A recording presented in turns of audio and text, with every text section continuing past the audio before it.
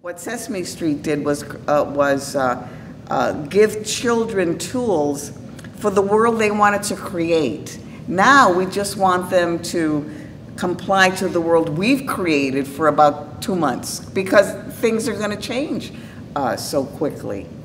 It's very short-sighted.